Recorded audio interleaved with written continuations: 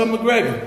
They get the haircut like McGregor, all that shit. As soon as they get that first big check, they gonna leave their motherfucking wife and kids like fuck off my Instagram, man. I'm not. I don't give a fuck about what you talking about. Motherfucker on here talking about I ain't cultured.